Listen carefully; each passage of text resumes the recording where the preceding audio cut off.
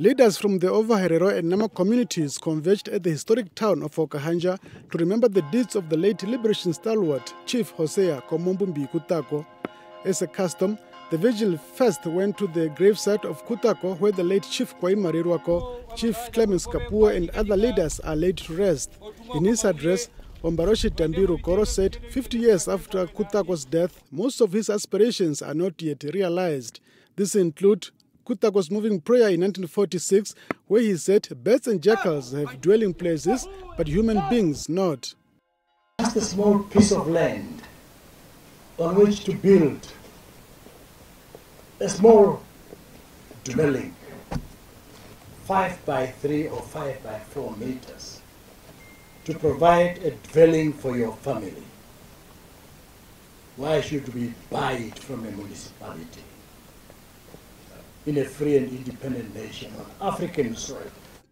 Chief Rukoro argues that Namibia has ample land and a small population, thus everyone ought to have a place to call home. He called for direct involvement by the Herero and Nama communities in negotiations around reparations. That call was supported by PDM leader McHenry Venaani. We are no puppets of anybody. We are there to speak on our own behalf and not through anybody else. We are not there to become deputies of anybody else. We are there to be our own substantive leaders at the negotiation table.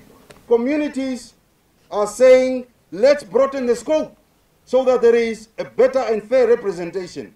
Without representation, people would, be, would always believe that they are left out. So there is a greater need for the authorities of our country to make sure that we make amendments so that we can make progress. He stressed that nothing will stop him and his community from marching towards social justice, a cause he says Kutako stood for.